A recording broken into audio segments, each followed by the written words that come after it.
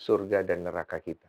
Oke, gini, kalau di, dari pandangan Islam ya, Mm, manusia diciptakan bersuku-suku, mm, bukan untuk saling mematikan, bukan untuk saling Ya. berperang. Ya, ya, sebenarnya. pernah dengar itu. Betul, Ajarannya betul. bukan begitu. Betul, betul kok. Ajarannya adalah untuk saling mengenal. mm. Betul kok. Gitu. Di Islam kita juga percayalah, yang namanya Tuhan pasti cuma satu. Iya. Ya.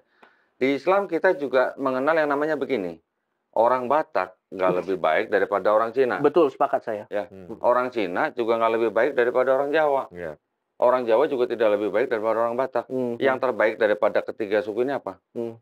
Takwanya kalau di Hmm, dalam iya. Islam. Iya. Takwanya. Takwa artinya apa? Menjalankan perintah Tuhan, menjauhi larangannya. Iya. Dan di dalam Islam juga tidak ada paksaan. Iya. La ikraha fiddin. Iya. Masalah iman tadi kalau Bang Denny bilang itu adalah hubungan kita sama Tuhan ya. Iya. Karena sesuatu yang tidak bisa dinalarkan, ke itu adalah iman. Iya. Kita juga tidak boleh menzolimi orang lain. Iya. Kita tidak boleh memerangi orang lain yang tidak memerangi kita gitu. Iya.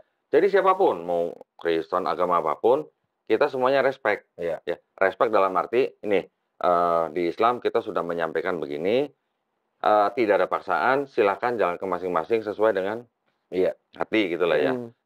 Makanya tadi saya ingin me- apa namanya menggarisbawahi bahwa karena di dalam Islam dia tidak mengenal suku ras, ya, maka itulah menurut saya juga paling logis. Logisnya dalam arti Hmm.